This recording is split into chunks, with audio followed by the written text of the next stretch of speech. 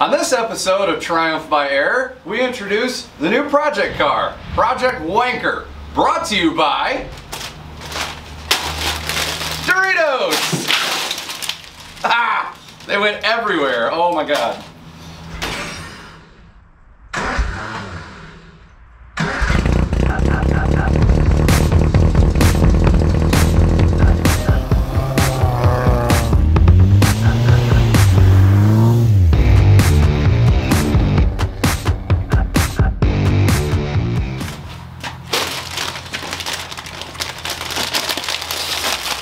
Tried these tangy pickle ones.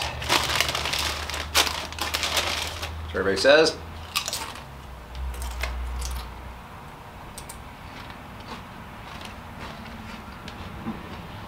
They taste like they'd be really good with like queso or something. They're made, they just taste like lime, really. Tangy pickle. Anyway, this is Project Wanker. Um, it's a 1973 Triumph Spitfire, as you probably guessed. Show is called Triumph by Error, and um, I picked it up. It was about three miles from my work. Um, Giselle sends me the link to this thing while I'm at work at midnights. She goes to sleep, and by the time she wakes up, it's on a trailer in our driveway.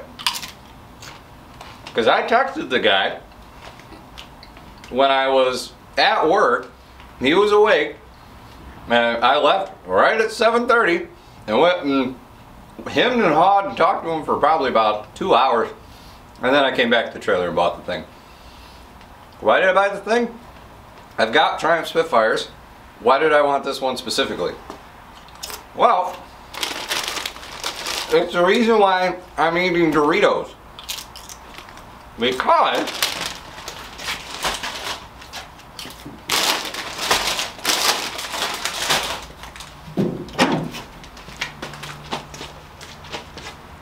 despite also being a pretty clean example of a 1973 Spitfire, which is a desirable year, this is the engine from a Mazda RX-7. It's a 12A rotary. Yes, rotary. No pistons, no connecting rods, just one magic spinning Dorito, as it's known. It'll rev to 9,000 RPM all day long. Um, you have to run two-stroke oil in it to save the apex seals. And uh, it makes about double the original horsepower of the Triumph Spitfire engine. So I'm excited because if you had asked me what swap I want to put in a Spitfire, name an engine, what do you want to put in a Spitfire? I'd say a rotary. And then Giselle finds me a car that has a rotary in it and expects me not to buy it. Yeah, that worked well. So I picked this thing up a little while back. It had been in a barn for years and years, decades. Apparently it was a running and driving car and you can tell it's all here, it's all sorted. I don't have to do any of the random BS work. At least the swap is complete. It was running and driving. It's just, it was parked for decades. So I've just got to get it running again and then I got to go through, I basically have to restore this thing. The brakes are lock solid, the clutch is lock solid, the throttle is lock solid. All three pedals don't do anything. They're just completely hard. So I've got to make it a driving car, but she's pretty rust free. It's had one repair done. It's got some blemishes in the paint, but it's also British racing green, which I wanted a British racing green car. I started with a red one. Um, the Shaguar was originally a light blue. Someone had painted it a dark blue and I painted it darker bluer. But I wanted a British Racing Green one. So now I have one with the swap that I wanted and actually this is a very solid car for what I picked it up for. So first things first, we got to get this carburetor unstuck because she is, oof, she's uh, probably not seen the light of day or moved since the W administration. So uh, let's get this thing off and get her soaking, get her pulled apart. Now let's get one thing absolutely straight right now. I have no prior experience with rotaries. None. I love them, but I have no experience working on them. So everything I know is just in theory.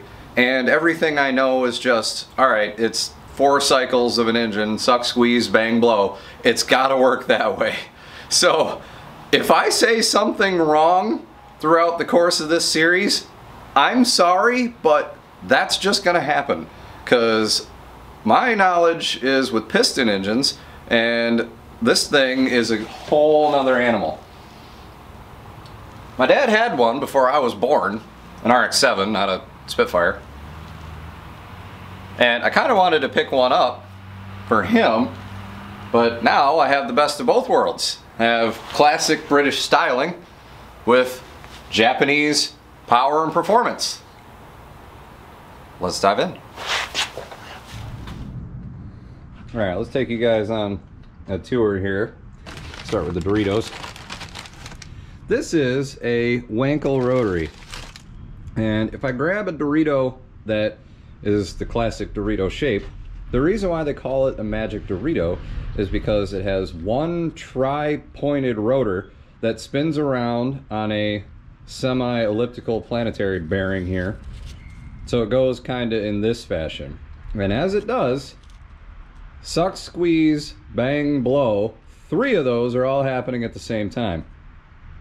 So the reason why it makes so much power for such small displacement, it's hard to measure displacement on a rotary, is because it's doing multiple power strokes per revolution of this rotor, which is delicious. Now, this is a 12A, which means that is a 1.2. It's actually like an 1190 something. So it's actually 300cc smaller than the piston engine that was in the Spitfire originally. Well, actually, tell you the truth, 73, yeah, 73 would have been a 1500. So the 1500 that was in here made 45 horsepower in North American trim because of all of its catalytic converters and smog pump and all those gibbons. And this makes just, I think, north of 100 horsepower. So this thing is double for being smaller. But they are thirsty. That's a four barrel. The Spitfire had a single side draft. This is a, I mean, not a particularly large by like V8 standards, but this is a four barrel on a 1.2 liter. So goes to show that this car is probably not going to get a very good gas mileage. And the original Spitfire tank is still in there, which means that it's a eight gallon tank and let's say that this is maybe 15 miles to the gallon. So I'm not going to be going very far per tank, but I don't know. I guess we'll find out. Maybe being in such a light car, it gets a little bit better. That being said, the Mazda that was in originally was not very heavy either. So cool part about it though is that the Achilles heel of these Triumphs is that they come with the either just a four speed or they have a four speed with an overdrive, which actually I have one right there that's supposed to go into Giselle's car. Now, my red car, I put an overdrive in, but the Spit, the Shaguar has just the four speed. This thing has the legit Mazda five speed from the RX-7. So it's much better off in terms of gearing. Now this interior is actually in pretty good shape. You can't smell it on your TV set there, but this thing reeks. It smells like mouse. And I'm not entirely happy with the hantavirus. I might pop this top down while it's in the garage just to let it air out. But I'm thinking that there's mouse house either in here or in here. But problem is, I can't open the trunk. And there's no good way to get in here if that lock doesn't work because you can't go through the back. There's a gas tank there and it bolts from this side. And you can't go from underneath because there's no hole. So I haven't quite figured out how I'm going to get that open. But I have a feeling that there's lots of mouse house in there.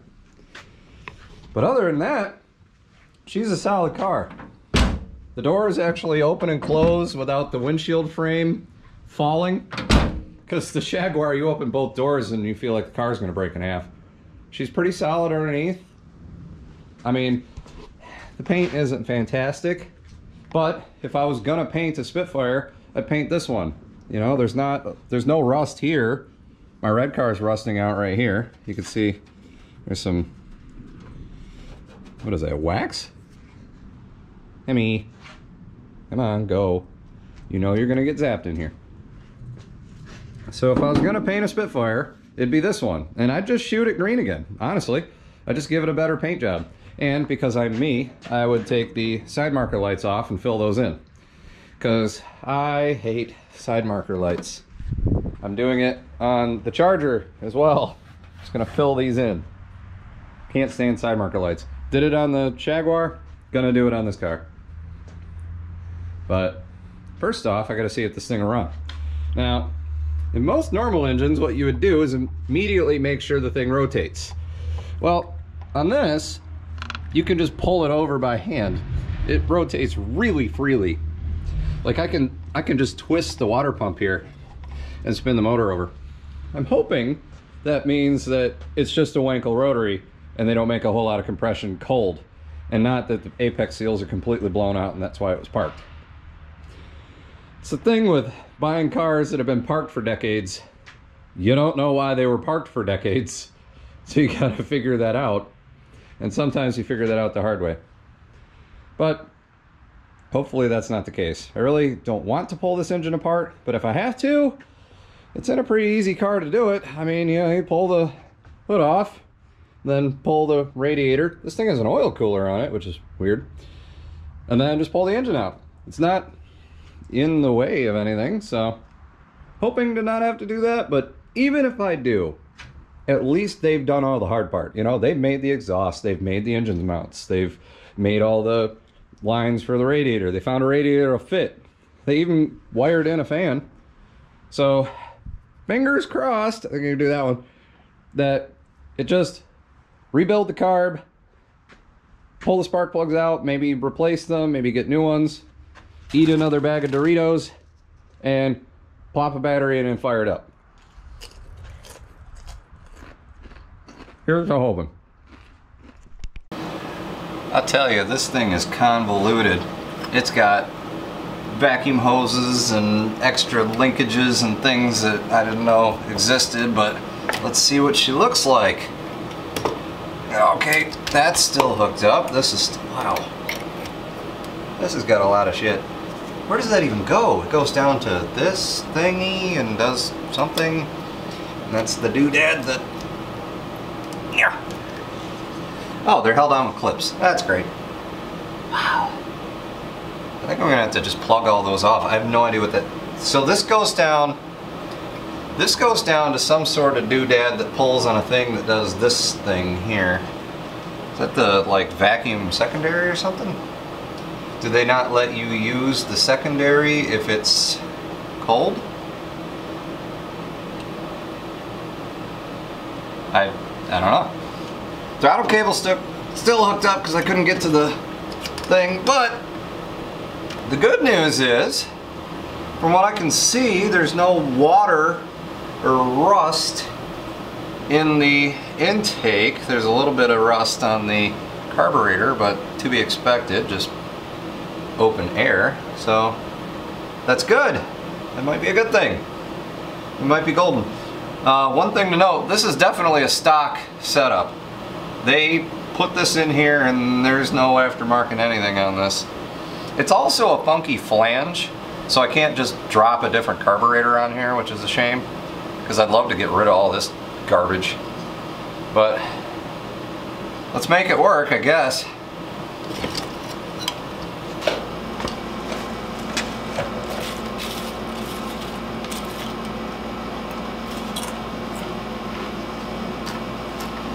This thing is convoluted. Holy cow. There's all sorts of things that don't go to anything anymore. There's valves that are blocked off. There's a sensor for some reason. This was probably a late 70s engine and they had a lot of emissions on it. A lot of emissions that I think we don't need anymore. I'm gonna take this apart. I'm gonna soak the whole thing in jet fuel because I'm an aircraft mechanic and I have jet fuel.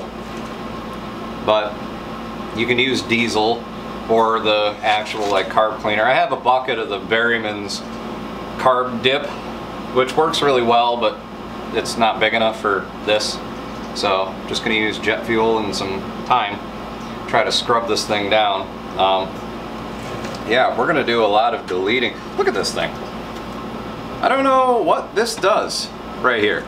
It seems to maybe push pull on this. Maybe it stops the idle from idling down. I don't know. I guess we'll figure it out. Now that I've got it apart, it seems to be a little bit more free. The blades will actually turn, so that's good. But let's tear it down.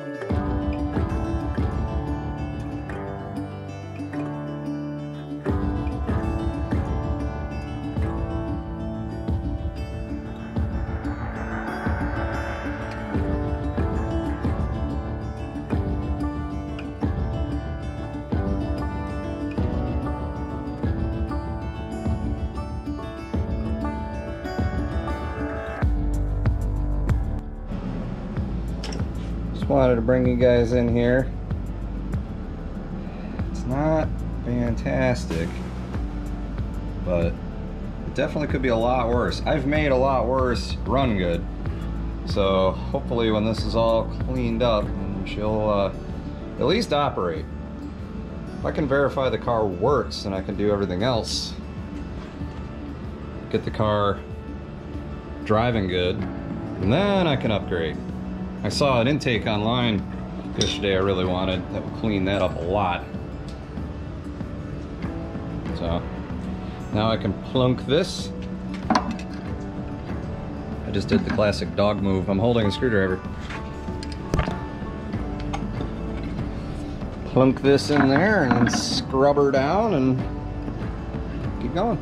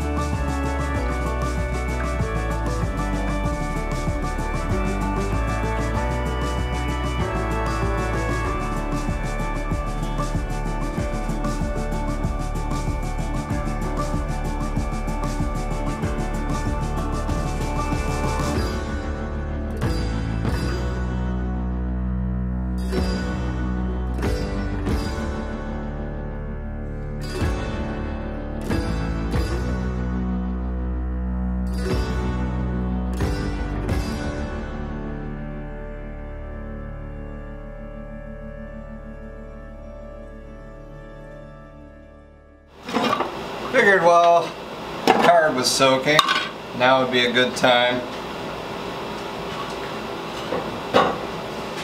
Now would be a good time to put a battery in her and see if she burns to the ground. So the way that Spitfires are usually wired is that there's a little uh, solenoid right here that goes to the starter and the starter only has one wire going to it. But this has the Mazda starter on it, which appears to be pretty well buried. I don't want to have to replace that. I hope it's okay. But uh, it's most obviously got this big red power wire going to that. And then this big ground is pretty well grounded right to the case of the engine. So I don't have to worry about the wires being backed up. Wire. But I trust nothing on this car. So I'm gonna throw a good old lightning cube in her and see if I get fire. Car burns to the ground, I, well I guess I'll make good TV, right? Okay. Don't smell anything burning. Don't hear anything ticking. I'm just now noticing this thing has two ignition coils. Interesting. Is that a Mazda thing? I have no idea. It's got two spark plugs per rotor, so maybe it's got two ignition coils to fire the two spark plugs. I don't know. I am also noticing that the heater is hooked up, so that's a good thing. Here's a pro tip. If you're going to put a battery into your project car to see if the electrical works, make sure that battery actually has a charge. This one doesn't physically fit, but who cares? This one's actually charged.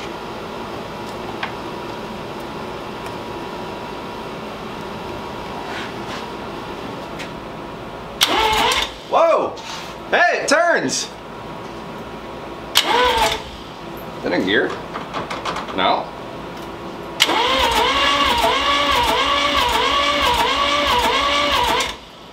Woo! Alright, she at least turns over. So, that's good news. That means the starter worked. And I don't have to fix that at least. Good, because it's buried. Because this was never designed to be in here. I'm going to check for power at the coils just so I know if we turn this over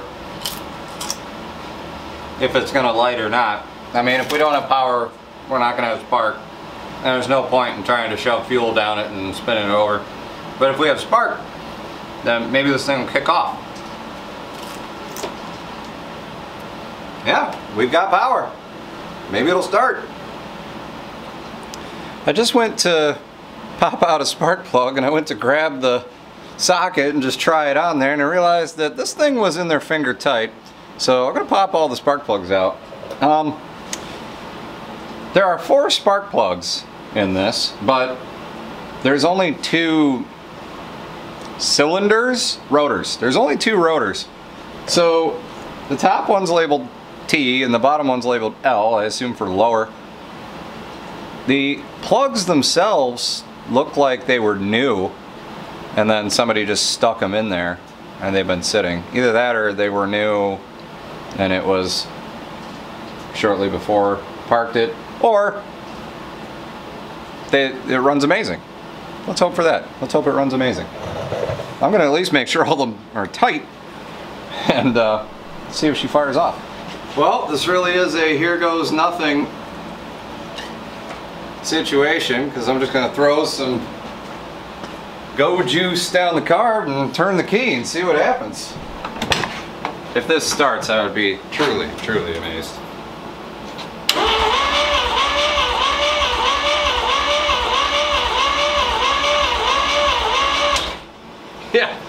Yeah. Who could have thunk that was gonna happen? Alright, well, let's see if we even get spark. You know, I should pop that cap off. Just take a look, see what's in there. Points! Oh, and they are back. Oh, wow! I had to bring you guys in for this. Look at, get out of the way. Look at those. Oh my God. That is horrible. So, uh, yeah, I'm gonna do a little point sanding. Look at these funky rotors too. The more I learn about rotaries, the less I know. I got it all cleaned up. This thing was filthy. I just want to point out how weird this is. There's one, two on the outside part of the rotor, and then there's one, two, three on the inside part of the rotor right there.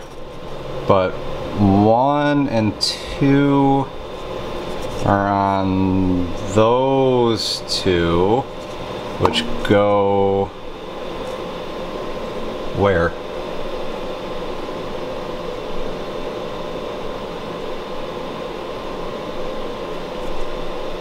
Wait, um, I'm so confused. There's two wires in from the two coils. One of them goes to the center, which makes sense, but then the other one goes to right here. So that plug right there is another power input. So these two are out and these two are out and these two are in. Dear Lord. Well, all I know is I cleaned it up and I hope it works. Because I really, if I pulled all these spark plug wires off, I'd never be able to put them back. I haven't the slightest clue what I'm doing. But, that's how you figure out. You just do it.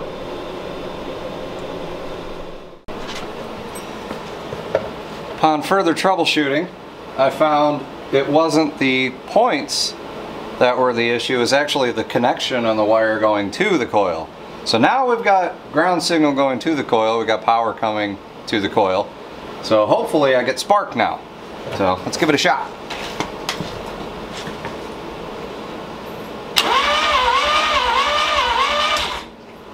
All right, got good spark now. I'm gonna just double check and make sure that I still got spark on the top. Come on, give it.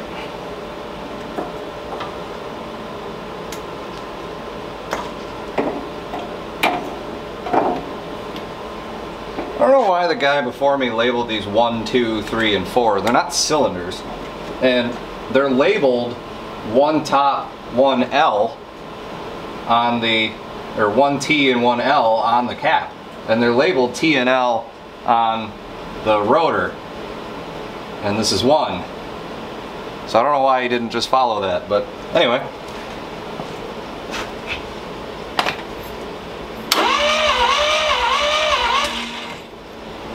I'm getting spark.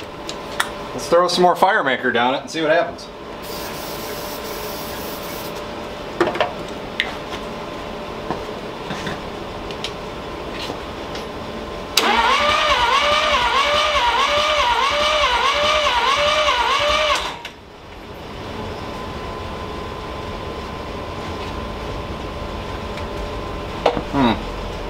Interesting.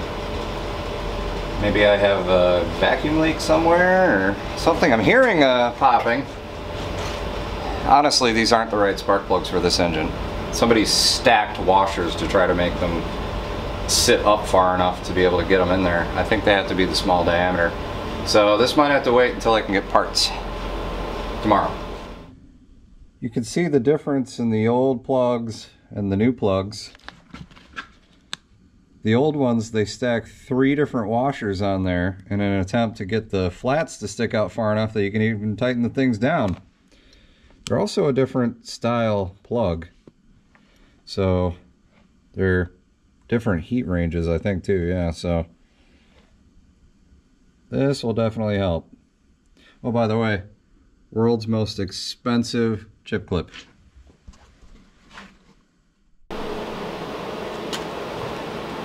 I just learned something when I was trying to find the spark plugs for this thing. The L and the T doesn't mean top and lower. It means leading and trailing.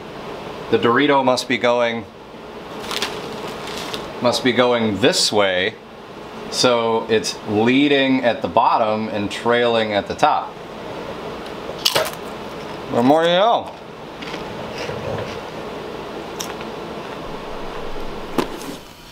Got our new starter from Romulus Auto. Just a standard replacement. Um, it was a little difficult finding it, but other than that, there was no core on this, so I get to keep my old one, which is nice. But uh, some of the guys in the forum said that that was spinning absolutely fast enough, and there's other reasons why it won't start, but uh, I wanted to throw a new starter on there anyway, because I needed to get into there for the slave cylinder, and this is a forever car. I'm gonna keep this thing. You know, all my other Spitfires are great, but this is the one I always wanted to do. The funny thing about this is that I'm finding a lot of parts that have the Mitsubishi logo. Which is weird, because this is a Mazda.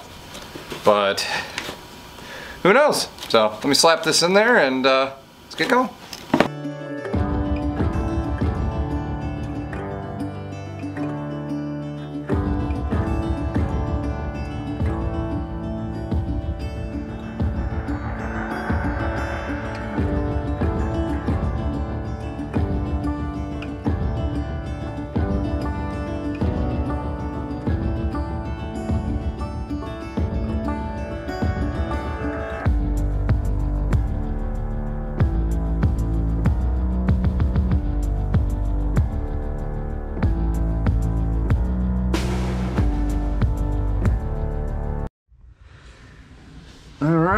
Now that the interior is out, you can get a clear view of the starter. And what we have a clear view of is mouse, mouse nest. Ugh, I found it everywhere. They had eaten the seats. They had eaten, well, the carpet. And looks like the starter is pretty well junk. So we'll get this out and we'll get a new one in here or maybe get this one rebuilt. Depends on how hard this is to find. And see if we can't get that motor spinning over faster. Another thing I'm doing because the forums told me to is dumping a whole bunch of, they said trans fluid, I'm using Marvel Mystery Oil because A, it's what I had, and B, I feel like it lubricate just a little better. But the concept is on the edges of your Dorito, Dorito, you have your little apex seals that spin around. Well, those apex seals are known to stick if they've been sitting for a long time. And what they're hearing on rotation is uneven compression, which on a piston engine would mean that there's a cylinder that doesn't have compression. On this you don't have cylinders, you have rotors. And each rotor has three cylinders, you want to call it? They're doing all of the combustion things, suck, squeeze, bang, blow. There's three of them going on at each time for each rotor, so there's six total. So if you've got an uneven turning, it means that one of your, well it could mean that one of your apex seals is not sealing.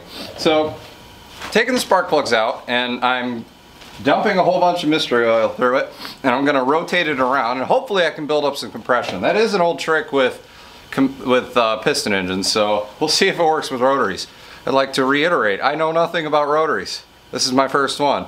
I'm not going to eat this. This has been out here for three weeks and it's covered in gasoline and carb cleaner and all sorts of other garbage I do not want to eat. And Mr. O's been sitting in there for a while now, so I'm gonna try to rotate it through by hand and see how much of a bloodbath we get. Oh yeah, there it goes. Oh, oh, murder she wrote is out of gear.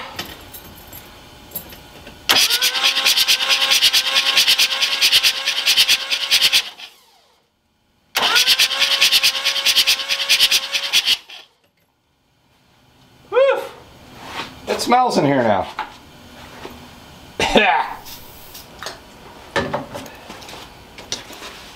Come on, baby.